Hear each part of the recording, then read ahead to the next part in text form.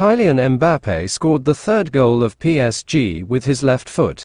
It is the fourth time Mbappe scored 25 plus goals in a season. He is the first French footballer to do so. PSG now leading 3 goals versus Ajaccio.